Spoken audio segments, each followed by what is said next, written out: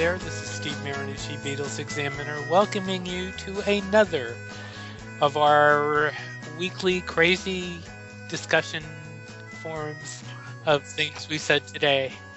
Before we get started, let me introduce uh, who's on board with us today. Uh, first, uh, out there in uh, Pennsylvania, um, part of Beatle fans since almost the beginning. Since the beginning?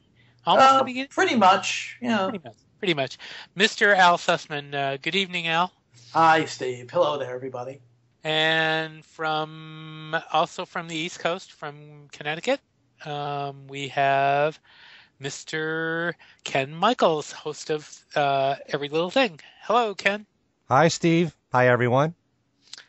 And joining us tonight, as he does every so often, um, from Beatle Brunch, where, if I can plug myself, I am on next week, but Yeah. that will be after after this after this uh, comes out. Mr. Tom Frangione. Hello, Hello. Tom. Hello, guys. Thanks for having me back on. Always a pleasure. And you're you're and and he's even he's even here in light of the World Series. What a what a brave guy. Well, you know, look, as I said, we, we'll go home National League champs this year. That's uh, when There we you get go. Back, when we get back to opening day next year, we'll get to watch them raise raise the flag. You know, There the, you go. uh, the NL champ flags. So, And that is and that and having watched the Giants uh, get the rings, all that ceremony stuff is very cool. So even Yeah, um, even halfway, so I'm glad Yeah. I'm I'm happy for you guys. Anyway, here's here's what we're going to talk about this week. Oh, uh, Steve, just one thing. We probably should let people know that Allan Kozinn is not with us. tonight. yeah, Ah, in absentia. Yes, Oh, because you- he's Mhm. covering, Yeah. covering a classical music concert. yes, he's here in spirit. Um, Mr. Kozinn is not here. Thank you for doing that. Thank you. Sure. so here's what we're going to do tonight. Um, during the week, I was uh, writing about um, Andy White, and I came across a picture, a very vintage picture Yeah, of our uh, of Tom Frangione and Andy White together at one of um, Charles Rosenay's uh, Beatle conventions, and I went, "Oh, okay." And I soon found out that Tom and Andy had, you know, it was more than a one-shot deal here. That Tom and Andy, Tom and Andy knew each other for quite a while, and I thought. Um, since there really wasn't a lot of detail in anything that I saw about Andy, I thought maybe Tom would like to come on. Uh, we'd invite Tom on to talk about Andy, and he actually has some very fascinating information about, you know, about Andy and Andy's, um, you know, later years here. And so, Tom, let's talk. Let's talk uh, about a little about Andy. When did you first meet? Well, actually, I first met Andy. Um, it was in the mid '80s. Um, I read about him in a newspaper here in New Jersey. It was, you know, kind of a, a human interest story saying, "Hey, you know, somebody that lives here in New Jersey played on a Beatle record 20 years ago."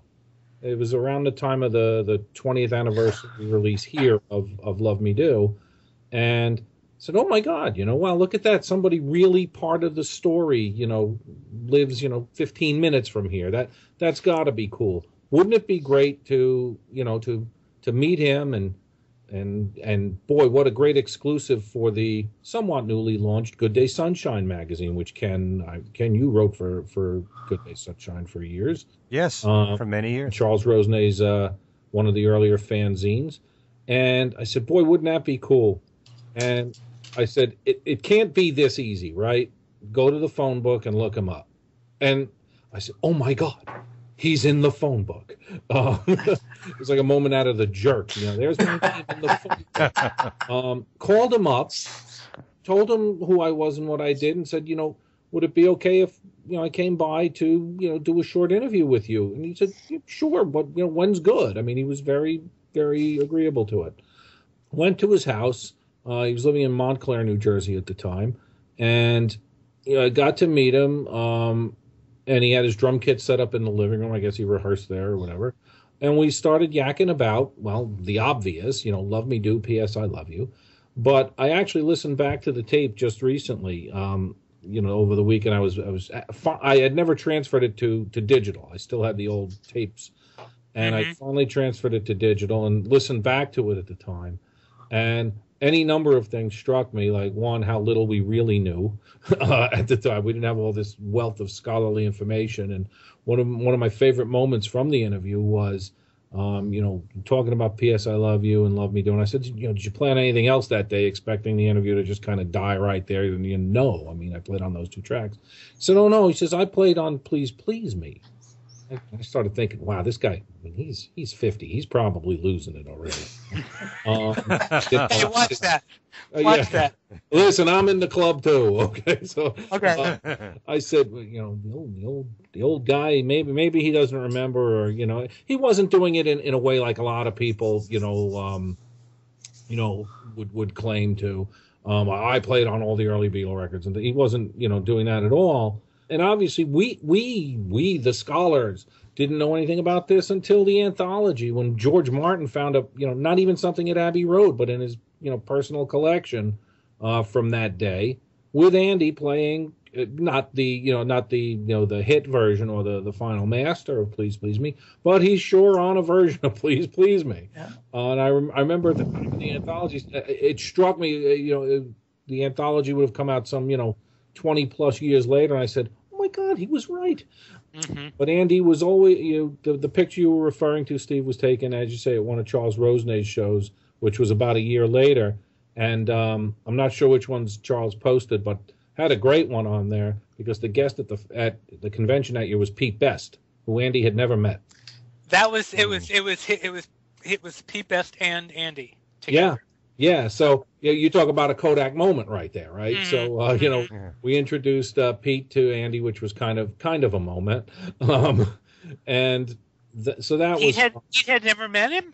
No, He they had did not? never. In fact, it was funny in the interview when I said, you know, gee, d- me if I played on a hit Beatle record, I'd tell everybody. Anybody would be willing to listen. He says, well, you know, when people ask me, you know, who you, you know, where would I have heard you? What records would you have been on? And I say, you know, I was on a Beatle record before Ringo. They say, oh, you're Pete Best.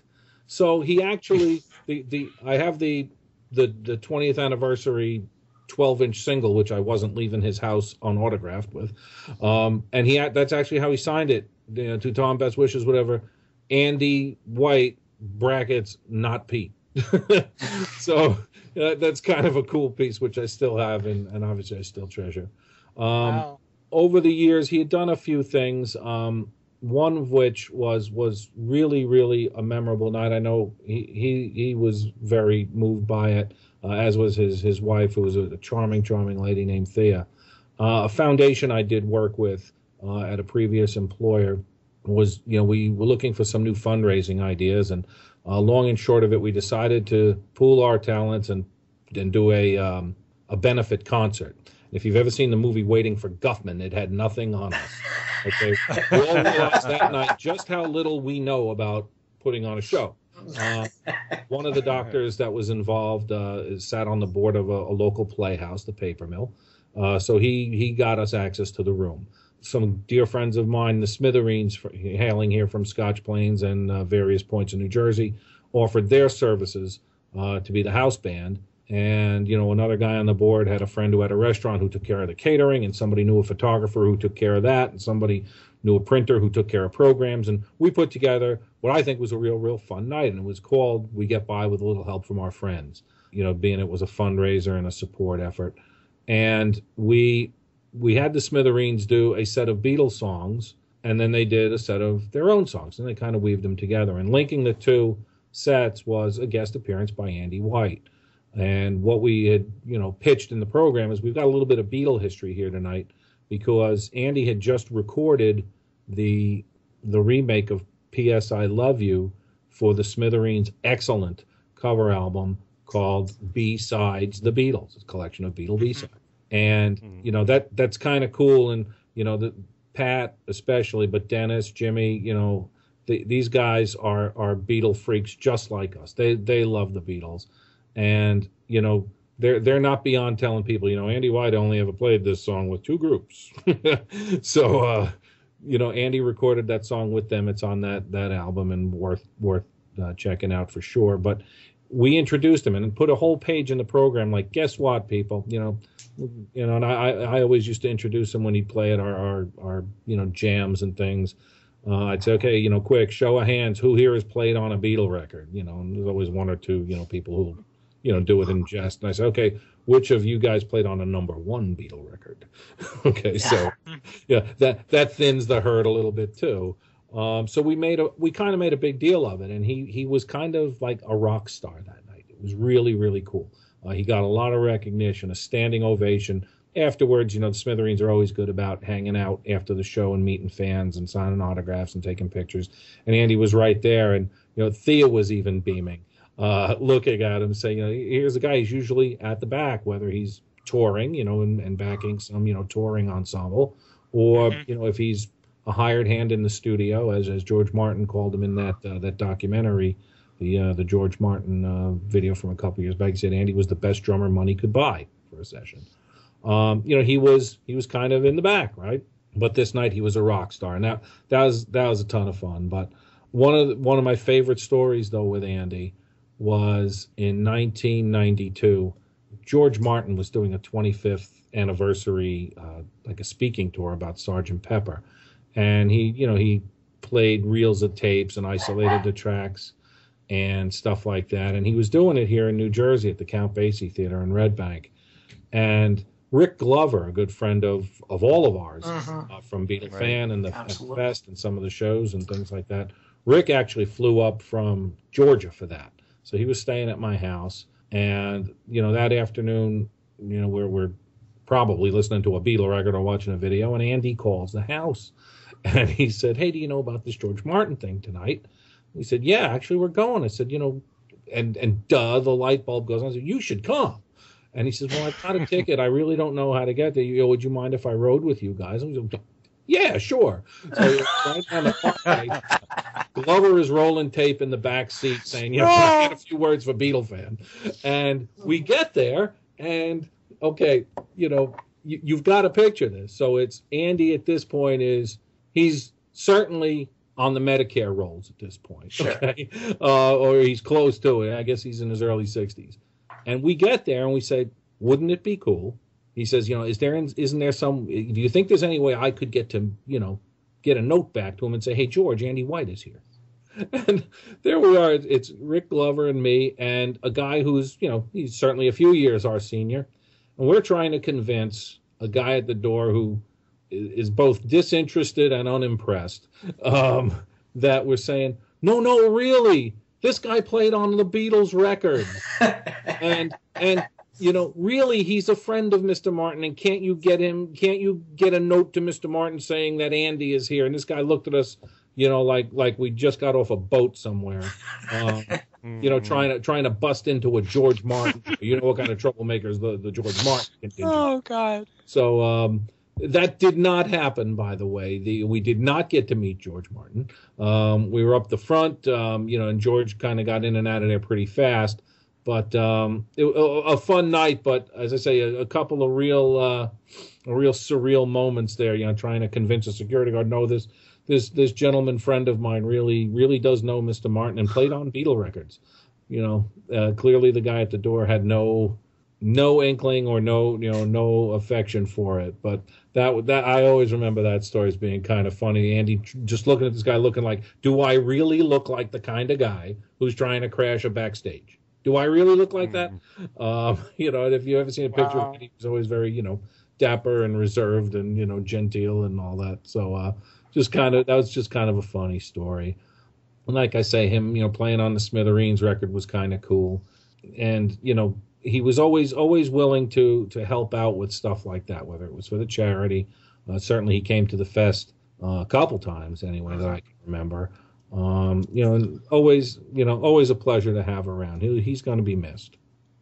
Oh, cool. Yeah. That's a that's a great story. I was wondering though if you didn't they have a Q and A or anything that night? Uh, no, th- this was this was a very much a one way presentation. Oh, if it was a Okay. Q and A, it would have been a home run.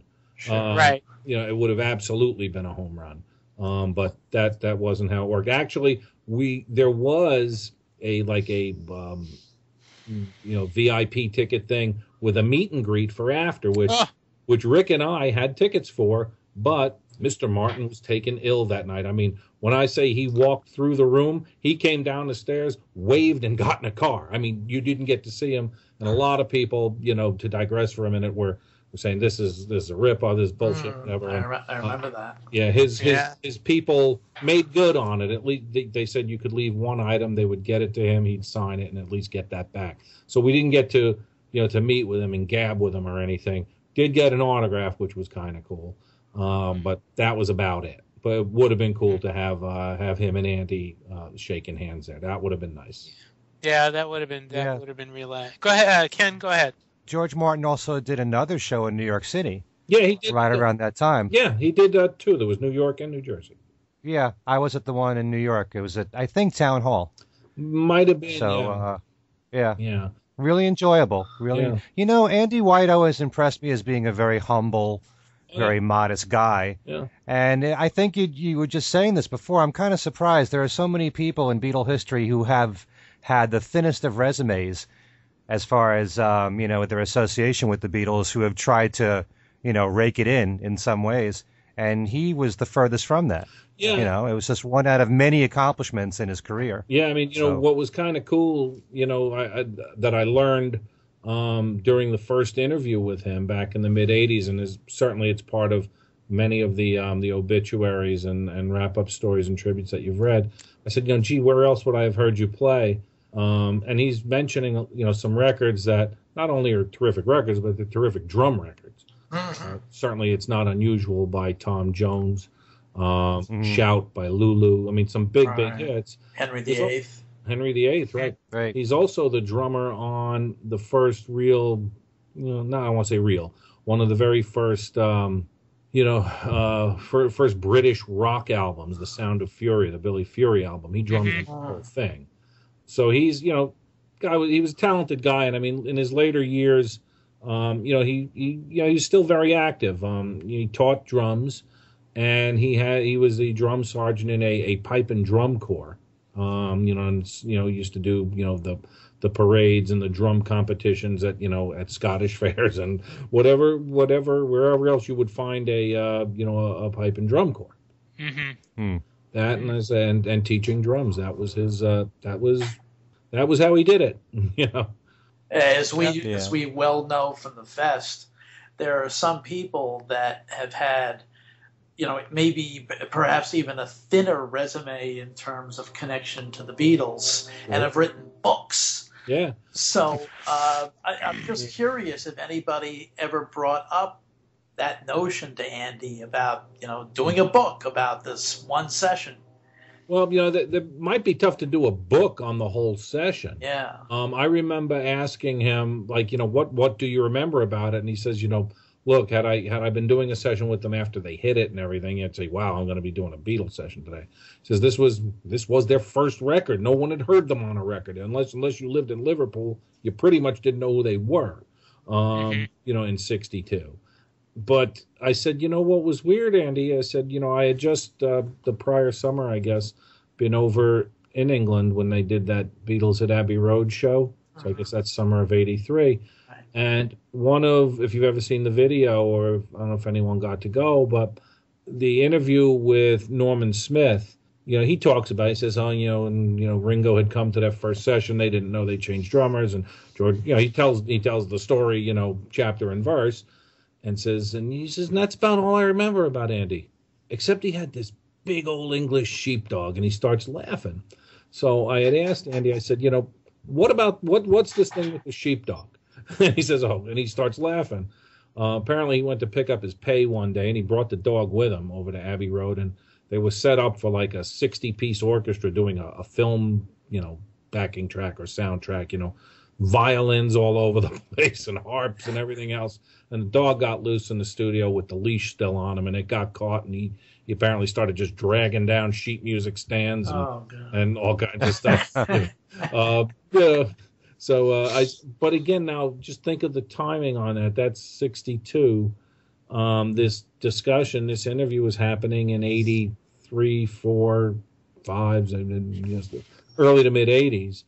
And you know he's remembering that, and and frankly, Norman Smith is remembering that. I mean, it just had to be a sight to behold. Yeah. So, um, you know, so that clearly I wasn't there for that one, but uh, you know, it, just the the look on his face when I mentioned that Norman Smith remembered something about his sheepdog um, Mm. was just kind of funny. Tom, did Andy ever say that? Well, obviously, there was only the one day when they worked together, but did he ever have contact with the Beatles after that one session? No, I asked him that. He said he never did. Um, he had never met Ringo. Um, you know, so because the only place I would have thought he might have met them is, let's say, something like one of those poll winner concerts. You know, the Ah. multi-act bills. You know, where Mhm. they they'd have you know the the live house orchestra or whatever. You know, backing up whoever might be there, Herman's Hermits or whatever was going on there. So, uh, but no, he said he, he never did meet them after that. Tom, were you were you involved when when the Smithereens uh, did the uh, uh, played that live show and they let him play uh, uh, "Love Me Do"? Yeah, that was that was the show. I actually produced that show for the uh, Okay. foundation. Um, he came up and did "Love Me Do" and and "P.S. I Love You." He did Right. both. And uh, the Smithereens in in best you know Beatle aficionado style had their drummer playing tambourine. Right. They uh, you know they're, they're very authentic that way. so yeah, that was uh, that was a show in 2008 here in in Millburn, New Jersey. Al, you were there. I certainly was. Mark Lapidus was on hand. We had uh, we had a bunch of our, our good Beatle friends on on hand for that night. It was a lot of fun. hmm Al, did you want to did you want to ask ask? Uh, I asked about the, uh, you know, about whether Andy had ever considered uh, doing a book. No, you know, like you know, I'm not sure if he was the British Hal Blaine. I mean, Hal Blaine's played on ten gazillion records and Exactly. tons and tons and tons and tons. Sure. and Right. I'm not sure Andy was. I mean, he was he was a top session guy in England. You know, in the late 50s to probably early 70s. Um, I'm not sure that it was as as as illustrious and uh, prolific as let's say Hal Blaine um, or somebody like that. But um, no, you know, a book. I, I didn't ask him, but that that didn't seem to be up his tree at all. Mhm. hmm Was there a session that he played at before the Beatles that where George Martin was aware of him, or was Oh, he yeah, just a name? George, George Martin used to to hear Andy tell it used to use him all the time.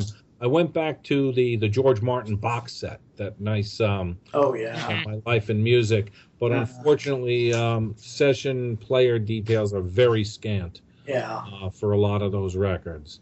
Mhm. Um, so I re- I really wasn't able to come up with much, and I've been trying to to you know find. You know, pretty much everyone's been using the same examples. Certainly, "Love Me Do," "P.S. I Love You," and it's not unusual. And you might even find a few that mention "Shout." They don't seem to go much past that. Um, Right. You know, the Billy Fury record might get mentioned here or there, or the uh, the Herman's Hermits uh, Henry VIII. Mhm. Mhm. That's about Yeah. it. Um, Would you? How would you? And I don't. I don't know if this is a good question or not. But how would you compare him to uh, Bobby Graham, who played? You know, who was basically, I guess you can compare it to Hal Blaine, and played on the Dave Clark Five stuff, and yeah. which, which, by the way, which nobody wants to, uh, which uh, you know, Dave Clark will never admit, but uh, Right. you know, we all know that we all know that's true. yeah. W- Would you rank him in about the same as Bobby Graham? Well, it's it's hard for me to rank him because I don't know this a lot of the specific records he played on. Like he tell me, oh, you know, I did a Lulu album. Okay, Mhm. you want to know how many Lulu albums I have? You know, I have one. you know, yeah. So it, it's kind of hard. Which which is kind of nice about the Billy Fury record. They used the same five guys on the whole. Like there was one bass player, one drummer, one guitar player. It wasn't this rotating cast of session guys. And uh, there it is on the back of the album. You you get the credits. Um, you know, which which wasn't the Al. You could speak to this. Wasn't the norm back then. right. Not at Um, all. you know, they'd call in a session. Well, here's here's who's drumming for you today. Yeah. Um, so it's kind of hard for me to rank him against anybody. Um, he did say that you know John and Paul were v- those are the two that he pretty much talked to at the session because Right. they had a very to hear him tell it a very clear picture of what they wanted this to sound like. Like in P.S. I Love You with the you know that little Latin feel, the the cha cha thing going on, uh, and playing a little bit behind the beat. Actually reminded me of a great story. I was working for a guy once who was a a big music guy, not a Beatles fan specifically. We certainly liked them, and you know, he, he was telling me one day, he says, "You know, I heard a Beatles song on the radio today."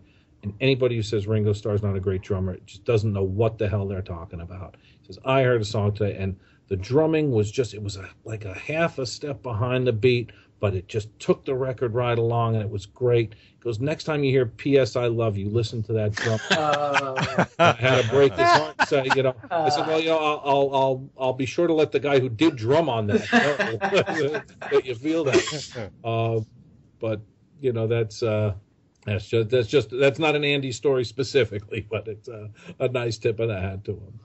Yeah, So, it, Mm. really um, so like I say, it's kind of hard. It's kind of hard for me to assess. I mean, I've I saw him drum live. I saw him drum in the studio. I've heard certainly some of his records where I know it's him. I got news for you. I probably have heard a ton more of his records that I don't know it's him. Mhm. Um, so it's kind of hard for me to assess him and say, gee, you know what? He was a really good with a pop drummer, a really good jazz drummer, a really good whatever, because I really don't know, you know, the the the depth of his work. It's kind of hard to do on a session guy, you know. Yeah. You know, and there's there's sadly very little written about him except for the obvious. Uh, yeah, you know the the Beatle. I mean, some of the some of the headlines and some of the you know the online stories where you know early Beatles drummer dies. right. Fifth Beatle. Hmm. That that was the one oh, that, yeah, that Fifth, hearing- fifth Beatle, you know, look, you know, I've had Right. days where you know I've called Ken the fifth Beatle. You know. um, but you know it was kind of cool. Speaking of you know the fifth or 105th or wherever we are in the rank, uh, our good friend David Bedford, you guys all know him, right? Sure, Oh, of yeah. course. Oh. Fest. He's written a couple of great books about Liverpool, and his last book that was called The Fab 104, Mhm. Right. um, and it was about 104 musicians who you know migrated their way in and out of you know the Quarrymen and you know all the early Right. Beatle lines, the Silver Beatles or whatever, um, Right. And had all and and certainly the rotating cast of drummers. But the book ends with you know the Beatles' first recording session because certainly there were people playing on Beatle records after that, you know orchestral players and certainly Billy Preston and Clapton and all those guys. But it ends with Andy White. That's kind of cool that uh, the, the kind of the the early the early years and the the formation until Ringo is cemented. You know he's he's the hundred and fourth Beatle. you know Yeah. so. Lewisohn's, Uh, Lewisohn's book has a lot of detail about that session too. mm, yeah yeah. Uh, so, Yeah. um, if you're look if you're looking for information between David Bedford's book and Lewisohn's book, Yeah. that's where you can. That's where Actually, can find David used a, a photograph I provided him from the Smithereens session. Like, so he had, you know, he had a, Ah. a, nice stock early picture of Andy, you know, circa 62, what he would have looked like then. Uh, that, that picture was printed in several of the, the online stories. It's the one him, he's wearing like a tuxedo and a black bow tie and stuff behind the Mhm. drum kit. And then, you know, showing him, you know, the latter day Andy you know, and what may have been, I, I don't know, you know, I know he still did a lot of live work and teaching, but I don't know how many recording sessions he did after 2008. That may have been his, his last, you know, studio session, which was uh, with the Smithereens. So a nice picture of Smithereens and, uh, and Andy in the back of the book. Mhm. Ironically, just a couple of days before Andy passed, the uh, the new Beatles One Plus collection came out, and of course on the you know the one disc, uh, the first track Mhm. is the version of Love Me Do, which of course features Andy White on drums. Yeah, the, the, the hit version. yeah, Um, exactly. It was kind of weird, and uh, you know, I, I say this only in good humor. Um, you know, Al and I were comparing notes over the weekend that Right. the disc had come out, and I said, "Boy, you know, you know what's cool is where you know there's not a video for I don't know, you know, she loves you, that they do a performance one, and you get the live audio. That's cool that they didn't just sync up the record to some you know Ready Steady Go program or something, and we get you know, I, I kind of liked having some new live audio. That's kind of like a, a nice ancillary or spin-off benefit of of this new set. And I said, but hell, why did they use the call it the Ringo version right. of Love Me Do on the video? You know, I mean, if they're going to use a studio version, use the hit version. And uh, Al, you quite rightly pointed out that the video was a the 20th anniversary one from Mhm. 82 Right. where the whole the whole hook was you know here's the the quote the alternate one, the one you never hear Right. uh, with Ringo. yeah. Mhm. Yeah. That's true. Yeah, which, Yeah. by the way, you know that 20th anniversary single you you mentioned Lewis and Steve. This is a story he told when, and I, I remember this one from my first trip to England back in the 80s. Mark was our tour guide uh, on the Charles Rosenay, you know, sponsored tour, and he was, you know, this is now 83, and you know, it's everything is now cycling through a 20th anniversary. Okay, and Right. you know, the Love Me Do single had come out and Lewisohn told us the story. Uh, he said, you know, how they they once they decided that the the Andy White version was the one that's going to be used on all future pressings and things. You know that the the other master was destroyed and that was it. He says, but now they they realized the historical value, if you will, Mhm. and wanted to put out a commemorative release. And they contacted Mark because he was at the time, certainly before he was ever a Beatle big scholar like he is today, or the you know the go-to reference guy. He was you know kind of like Britain's go-to collector, trivia, tour guide, all that. Right. He, he was all that. Um, and they contacted him, and he had an unplayed copy, which EMI's master was made from. And he said, and that they thought so much of it that they sent a courier around on a bicycle to come pick it up. On a, Wow. on a bicycle? On a bicycle. Swear to Oh God. my- Next time you're talking to Mark Lewis and ask him that question. Oh my God. Okay. Again, not an Andy story. In fact, by definition, not an Andy story. Right. It's a Ringo story. But that, that's what they, they thought so much of it to find this unplayed copy of Love Me Do, from which they were going to master future pressings. That they sent the guy around on a bike to come get it. But in in fact, to kind of segue, uh, since it has been now a couple of weeks before the One Plus collection came out, one of the reasons why we wanted to have you on was to get your uh, your expert analysis, since we kind of uh, went over much of uh, much of the of the set last week. We Mhm. wanted to get your opinion. Well, you know, there, there's not a whole lot not to like. Um, what what is in there is fantastic. I've seen some stabs at, okay, yeah, that's great, but you know what they didn't put in there? You know, Mhm. take 43 of this and take 28 of that. And there's an alternate angle of, you know, Revolution, right? There's a, there's a whole different, you know, set of camera angles in the Revolution one. And should they have lifted every clip out of the anthology and, you know, and all that. And, and you can bet that the one plus plus DVDs will be showing up, uh, you you know, showing up soon. But Mhm. um, what what struck me first was how good it sounded. I'm more of a sound guy than a than a picture guy, and you know, look in terms of you know timelines for remastering albums. Certainly, when they did it in 2009, you know the, the albums hadn't been remastered in you know in a long time, and there was a good chunk of technological advancement, and the results were were staggering. There's no other way to put Mhm. it. Comparing the 09s to the 87s, uh, even though we had little tastes of you know the one album and the even the red and blue album were cleaned up nice, but that's only six years ago. Uh, Uh, When when I heard they were remastering one, I said, "Mm, well, you know, h- how much more are they going to do to it than what they did in 09? hmm How- How much more is there? And it sounds real, real, real good. But the video, the audio tracks to the videos, which, by the way, mm, no, you're not going to find that in your local shop right there. You see that? uh, You see that? Yeah, we got uh, a little. Yeah, this is this is kind of a uh, you know one that you won't find on Amazon, but there's a you know a disc of the extracts for the what are you know, the alternates. Now look, when they're remixing or mastering for the video, there's going to be slight tweaks to all the audio tracks. They're just it's just going to happen. Right. Sound a Right. little, but there are you know certainly what I'm going to call alternate tracks. Let's define an alternate track. Something you won't find in the big black box from 90909. Okay, so there's Right. a couple of BBC things which we got in there uh, a couple of Sullivan shows, a Royal Variety show, which was kind of cool because the four songs they did at the Royal Variety, three of them made it to the anthology. This is the 4th one. So now we got the whole thing officially. Um, you know, the the track from the Around the Beatles. Uh, one of my very very favorite audio tracks in there is the um, the Let It Be movie version of Long and Winding Road. Yes. That's Mhm. just sounds so good. I can, I mean, you know, looking at it, more than one person I know uh, has observed. Boy, the Let It Be footage sure looks great. I can't wait to see the whole thing. I got news for you. I can't wait to hear the whole thing. yeah. Okay, because the sound on that was really, really good. The thing that really startled me the most were the two anthology tracks, "Free as a Bird" and "Real Love," because Mhm. One Oh, Right. oh, Yep. oh.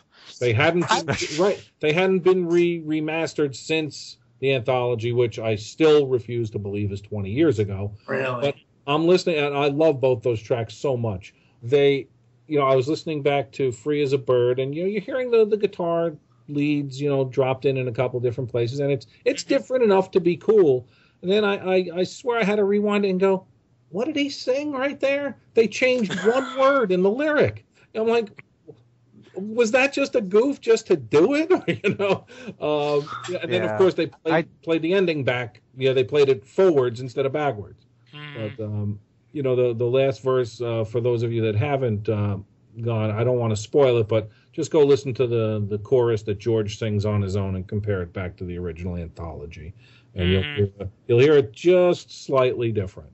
Uh, and of course, the ending is it's obvious, you know, that they're not using the backward loop, that they're using John's, you know, Uh-huh. natural or you know frontward uh, voice. So there's there's Hmm. there's uh you know not quite 20 tracks that are one way or another new. They're either remixed for the first time, remastered for the first time, or released for the first time, you know, officially, uh, you know, as a as a you know as a real track and not just you know buried somewhere in an anthology or Uh-huh. not making it onto the anthology album, but real new live tracks. So uh, it's kind of neat. We get the two different intros of the of the live jamming they did before Hey Jude uh, with David Frost. Um, those those are I just love those. I mean, because being a collector for so many years, I mean, Al, how how many versions of that you think we've gone through between VHS copies and Mhm. you know um, you know all these uh, you know chronology DVDs and everything else. Uh, a considerable number. Right, and I mean, Yeah. and we've seen them, and boy, I mean, even the official, you know, peaks at it that we had in the anthology proper, Yeah. um, they looked great, but they they're just they're they're lifelike at this point. They really are lifelike, uh, Mhm. the visuals in it. But uh, for me, you know, I, I watched the whole thing that week, and I, you know, clearly I, I needed to just immerse myself in it. And by the way, they did a beautiful job. Uh, if you buy the One Plus, you know, with the, the two DVDs and your choice of, you know, uh, DVD or video, uh, or rather a DVD or Blu-ray, the the book that comes in it, you know, with it's got a you know a still or two from the video, and you know all the credits, the direct and the date, and and you know chart performance and everything else you wanted to know about the songs. You know, they they really did a pretty exhaustive job here. Of course, you know, no conversation about the one album uh, for me is complete without saying, but the most obvious way that, I want to hear it, it still isn't done, and that's you know the the mono single versions, which were the the hits by definition. Um, would still love to hear that uh, come out of you know come out of Apple, you know, in in official form, but to be determined. so, Yeah, as I, as I said last week, uh, I Want to Hold Your Hand should only be heard in mono. Oh yeah. Um, you know, they're, they're the early records. Look, you know that I'm sure that's that's been fodder for things we said today. It's certainly been fodder for Beatlefest discussions and Mhm. other radio shows. Those the early records. I mean, they just sound that much better in mono. They they, they just do. Um, they, that's how they were mixed. That's how they were intended to be heard. And I mean, I want to hold your hand. Just you know, just screams to be done in mono. Exactly. Mm. See, Ken, well, Ken and I last that- Ken and I last week both came out on on the side that it, the stereo wasn't wasn't completely bad. Uh, you know, Oh, I mean, I like the stereo. completely I- bad in here. There's nothing completely I- bad about this set. No, But I have said the the first two British albums to me sound better in mono. oh, they do. But I think once once you get into a Hard Day's Night, I think a Hard Day's Night sounds terrific in, in stereo. Sure. But the first two, but you know, I want to hold your hand. I think sounds pretty good in stereo. Mhm. Yeah. But Um, I I mean, they did a nice job with the stereo 90909 mixes. I have no problem with those. Um, but if I if I just get a hankering to go here with the Beatles, I I'm going for the white box typically. Mhm. hmm Yeah. No. Yep. Yep. So yeah, Yeah. that I mean I, they did it. No, they did a great job. They really, really did. Now the question is, you know, what are they? uh, Since the response has been relatively good, Hmm. you know, what are they looking at? What Yeah. are they looking at next? That's the question. Well, And- the good news here is this this one looks like they really had their finger on the pulse of the fan. Um, this is what the fans would have. Um, I, I, I think they're they're they're perking up and you know and took good notice this time. You know the the extras on this thing. You know the the Paul and Ringo commentaries, kind of cool. That that was a one time watch for me Mhm. but you know the the meat and potatoes you know i mean the the revolution video i mean like the guitar just jumps out paperback rider and rain i mean the the you know those the first snare hits in rain when it comes out it's it's it's startling How come nobody mentions eight days a week? That blew me over. oh it's it's Mm. great i mean you know the of course like we said with let it be when you watch it you watch the clips that are used here you say boy i can't wait to see let it be well you know if you've been waiting for Shea Stadium, go get a look at that eight days Yeah. footage. Uh, yeah, I mean, uh, th- uh, when I was sitting there watching that, the, you know, because I got the set early, I was no, I was just completely stunned. My mouth dropped. I could not believe how clear Yeah. it looked. It looked great. The other and another one that that looked good was the um, uh, Within You Without You. Mhm. Um, Yeah. I that looked really good too. I that Yeah. looked really crystal clear. I couldn't believe that. I mean, so sharp. But I mean, yeah, there's just so many things. Uh, I know there have been people that have been talking about the Blu-rays with some fuzziness. Uh, I, you know, I I haven't really, you know, I mean, I figure a lot of that stuff is 50 years old, and and you know, with 50 year old stuff, there is going to be some inherent difficulties, whether we, Mm. unfortunately, whether we like it or not, you know. Yeah. But I think they did a wonderful job. I really, I really do. Sure. Yeah. I think that Yeah. that for me, you know, the the videos that they made, uh, there was that one day in '65 when they they made ten videos. Those I treasure a lot because even though they're really quick and spontaneous, you kind of get the feeling they were they were all done in Twickenham, and they had to grab whatever props were around, and it certainly looks like that. Yeah. in so many of the videos. room- You know, it's the, the video, which I think is hysterical for for I Feel Fine. It looks like there's, um, I guess it's like a punching bag yeah. in front of George as as the microphone. That's hysterical Yeah. to me. It's like whatever they can find there, or uh, the video for Day Tripper with the with the airplane and the train. You know, where you know that it's not a real thing. It's just it Mhm. looks so bad, but Oh, yeah. it's funny Yeah. just Oh, to watch this stuff. Or the one where they're eating the fish and chips. I mean that, you know, yeah, that's a, and that that what they. By the way, they showed that uh, on uh, during the ITV special. So yeah, Does I mean there's you know what was kind of nice is that you know for uh, disc two with the extra versions and things you know getting the alternate um, hello goodbyes and things like that. But what what kind of you know we were talking about B sides before, just you know within the context of the Smithereens. Look at some of the the the you know quote extras, the, not the main stuff, the the ancillary stuff that they threw on, just kind of threw on disc 2 Mhm. videos that are in there for Strawberry Fields, a day in the life. this is Yeah. this is the B reel, okay? Uh, Right. just, right. you know, re- I mean, my God, the the, the the the the songs that are in there, it's just it's incredible. And you know, Strawberry Fields is still such a terrific video to watch. There's so much good imagery and color and everything. Um, Mhm. and the lo- the the quasi live uh, Revolution. Now, this is a family show, right? Uh-huh. Um, but y- you know, yeah, sort of. Okay. You guys know the, the, the whole thing with George in that video, right? This is the first time that they've used that that angle because they, they certainly didn't do it in Anthology, where after John sings the first line, George is seen mouthing something to Paul, Oh yeah. right? That Mhm. so they've they've used the alternate angles or cutaways and things for the better part of geez, probably the last twenty to thirty years. But I mean, the last time they might have used the the original you know, a series of, of camera shots may have been like in the complete Beatles or something back in the 80s. But Mhm. if you look closely, there are many, including scholars such as Rob Rodriguez, who, who um who have it on on some form of good authority of what George is saying there, and well, you'll just have to go watch it and just think to yourself, George is saying to Paul, John smells like shit. Okay, and I look at it and go, yeah, that's kind of what he's saying. Um, uh, I, I I don't know that it is, but it sure looks like it. So uh, Mhm. until we get a real good, you know, until they do something better than 5.1 and we can isolate that little microphone clip, uh, I don't know what else we can do. Yeah, yeah. I'm sure I have a feeling. somebody will do that. I have a feeling just from that tidbit of information you gave, Tom, that the, the sales are going to zoom right Yeah, now. they, for, uh, or right now YouTube, he's probably trending. yeah. Yeah, right. There we go. There we go. But wow, yeah. what can I mean? There's not really much else that you can that you can say. I mean, we pretty well.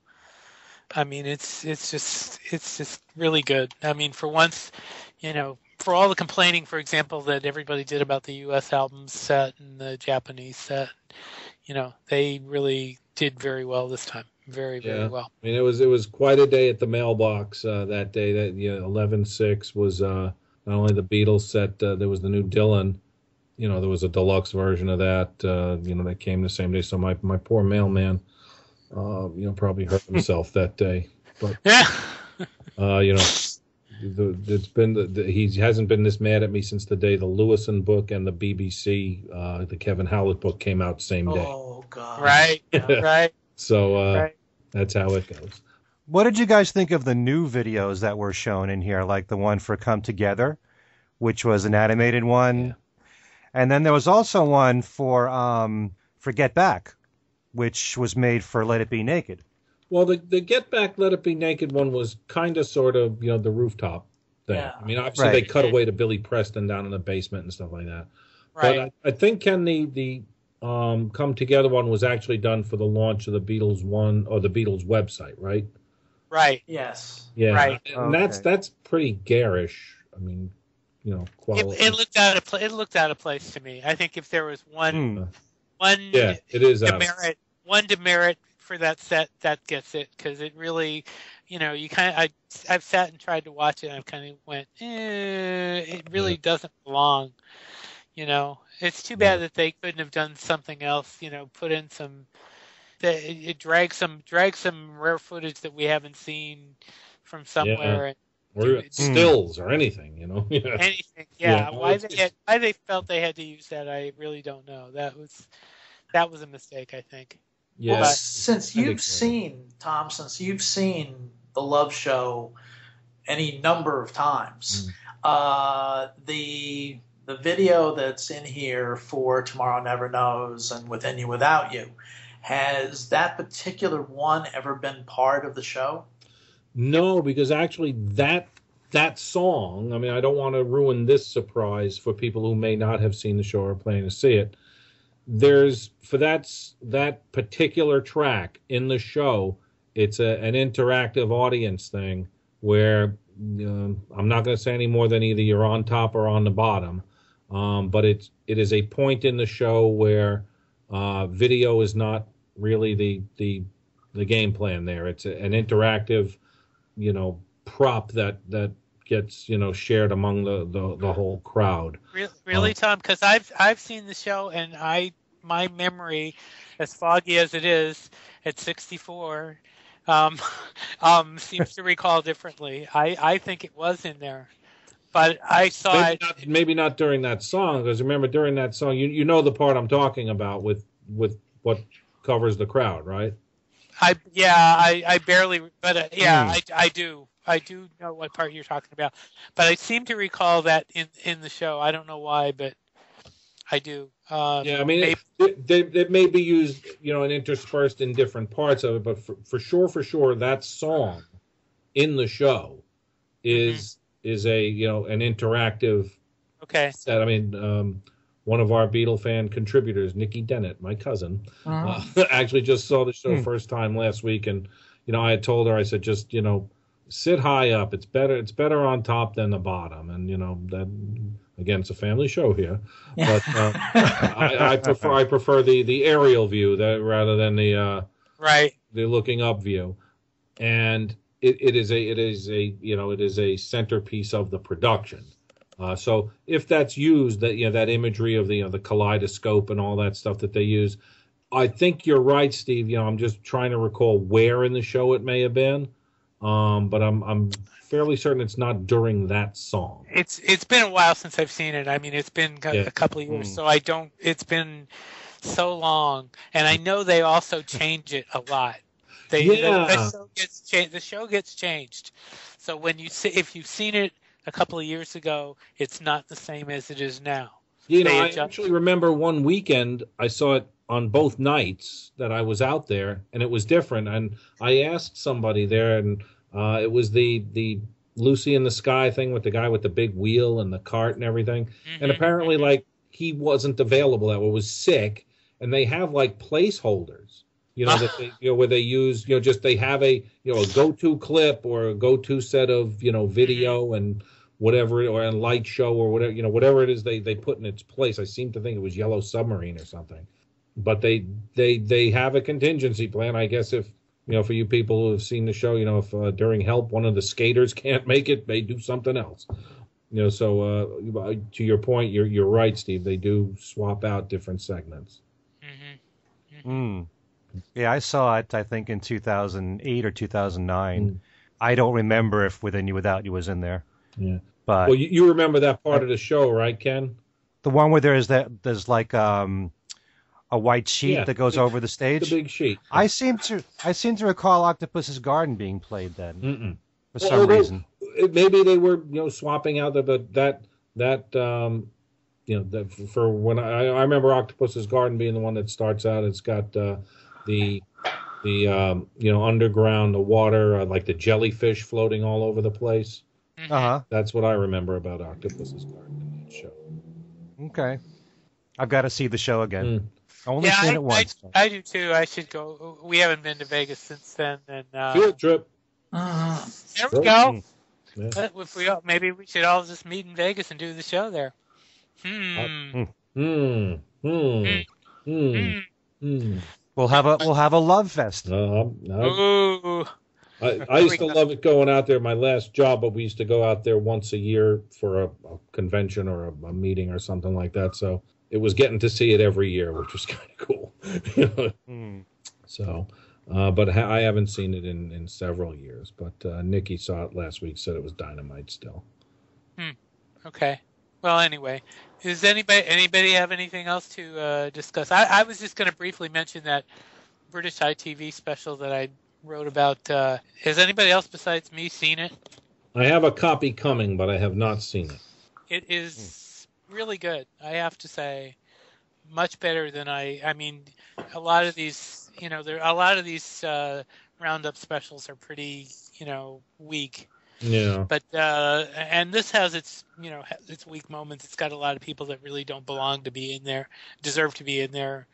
But uh, there are a lot of people that should be in there. I mean, uh, everyone from Freda Kelly to, you know, people from the fan club, from you know, Tony Bramwell's in there. Um, I mean, there's just a ton of people, and there's a and there's a, a little surprise at the end. I, I won't ruin it, but it's uh, it's it's very nice. Uh, and of course, the big part, the most interesting part for me was the Giles, Martin at the in the recording studio, and that uh, that is cool. And I really hope, as I said, as I wrote on online on Beatles Examiner, that um, somebody picks it up here. I really, really do. Um, and I think that if people were to, you know, uh, hopefully people can write to uh, Palladia and actually Palladia Access and VH1 are all the same company. They're all via Viacom, but uh, maybe maybe we can get Viacom to to do something with it. So I don't Yeah, know. We'll, Yeah, oh, you know, that could even be a, a public TV. I mean, that Yeah, like- I was just thinking that. that's possible too. I didn't even think about that, but yeah, that's a good idea. That's a that's very possible. In fact, that's probably something that it makes a lot of sense to mm. do that. So let's we, we can we can help. We You can know if there are plans to release that, Steve? No, no, there are not. And usually those things don't get don't get released. I mean, uh, you know, it it's very rare when those when any of that. I mean, we're still we're still waiting for the uh, the CBS tribute to be released, and Yeah. that has been released. In fact, that surprises me more than anything that that didn't get released. Mm. So- after all the hoopla behind Right, that, you yeah. would have thought, yeah, Right? You would really mean, would have. yeah, 50th it's- anniversary, everything. so. Yeah, the, the reason I ask about it being released is that's when PBS will latch on to a lot of music programs for like the Mm, pledge drives. Like- sure. Yep. You know, if there's Right. a new DVD, Yeah. that's what they give away. You know, for a hundred dollar contribution, you get a copy of the DVD or something. Yeah. Uh, as a matter of fact, this morning the that that special or in fr- uh, it's possible. I, I'm wondering if possibly the DJ that was doing the morning show on a particular classic classic hit station in, here in Pittsburgh may have seen your uh, your dispatch on this, Steve, because Mm. he um, uh, made it into a contest to guess what was the number one highest uh, you know highest voted uh, song from that particular special. Mm, which okay. which is such a huge surprise. It's Yeah, I know. an upset. I know. You know? I know, I know. That was a, that was a. I, I mean, that is the whole. You know, all those as they said in the story, the ratings pretty much were you could have guessed, but there were a couple of things. There was the one thing in particular that I mentioned in the story of, of uh, we can work it out rating ahead of Day Tripper that just very really was surprising to me. I, I still- Why? Because I thought because I've always thought Day Tripper for Amer- at least for well again we were talking about British fans as opposed to American fans. Um, Mm. you know, um, I've always thought uh, Day Tripper was a stronger song anyway. But what can I say? What can I Yeah, well, in America, we can work it out was the number Right, one. in America, Exactly. right, that was Yeah. number one here. say? Mhm. But you know what is surprising? You know what the biggest selling single for the Beatles was in in England was actually "She Loves You." Right. Right. Mhm. So you might have thought that that would have ranked number one, Mm. but uh, it didn't. Hmm. Mhm. So I don't uh, know. I don't know. should we don't know. tell the folks what number one is, or does well, it they matter? probably guess that it's "Hey Jude." Right. Okay. because right. I mean, that that that is it seems like every time there's any kind of a list of either favorite Beatles songs, favorite oldies, uh, whatever, um, "Hey Jude" is almost invariably number one. Mhm. I listed the entire 27 songs in Hmm. the story I wrote on it. If you look Right. on Beatles Examiner and look for the uh, the ITV Beatles story that I did, um, it- the, the the 27 songs are there. So you can, if you're if you're dying of curiosity to find out Mm. what they are, they're all there. And yet, you know, it's kind of interesting. The most recent, you know, any kind of something that you could quantify other than a, you know, a fan vote or something. The last time that there was something to measure, you know, Beatles song for song for song was when they they put them on iTunes, and the number one there wasn't even a number one song Yeah, in the set. It Hmm. was the Sun. yeah. hmm I know that. Yeah, that was. Uh, Not a bad. was not, I know that was interesting too. You know. Yeah, which in fact was one of the guesses this morning on that morning show, that ra- Yeah. uh, morning radio show. Some some really? guy called in and guessed that it was "Here Comes the Sun," Yeah. which of course wasn't even a single. Right, it's not even on. well, you know, for that matter, Al, you know, there is the version of Help that's in there, but that's another. This is true. you know. That's another show. Yeah, I know. I I know. I thought about that. I thought about that too. You know that they used some stuff that wasn't even on the. You know, they they use live tracks in some cases, which hmm, okay. well, Well, no, the vid- but like I say, in the, we said at the top though, you know, in the for videos, okay, if you're gonna do a, a video for um, "She Loves You," okay, and there wasn't one. I mean, the, what what are the options here? You could do a bunch of stills.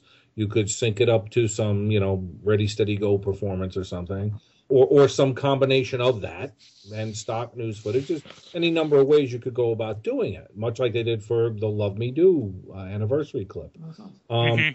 I'm really okay with. I know you guys can't. Well, you guys can see it, but most in Radio Land won't. Ooh, look at that! All the uh, you know the cool audio that's come out uh, as part of this set. I'm I'm kind of okay having a you know a new quote official release of you know She Loves You from I guess that one's from the Drop In show in Sweden. right. Mhm. Uh, Yeah, You know, look, we've seen which is a over the that's a great live show too. dynamite drive show. They were they were right on that day. Uh, Yeah. that was one of John's favorite, you know, performances that they did when he was collecting uh, underground releases back in the day. hmm Was the uh, the Sweden show, and of course, you know the tracks that they pulled from that for the anthology. They're, they're fantastic. Right. So you know, I'm I'm okay having a a an officially live released track from the drop in show uh, added to the uh, added to the archive. I'm I'm fine with it. even if it is on a, a video disc rather than a you know rather than an audio disc. The the audio disc will find its way. It will its way. Um, Are you? Te- what are you doing? Are you? Are you? You're you're you're tempting us there, Thomas. uh, not me. No, I wouldn't do that. Oh, come on now. Um, but um, You do have the new address, right? yeah. maybe rabbit, maybe. Yeah.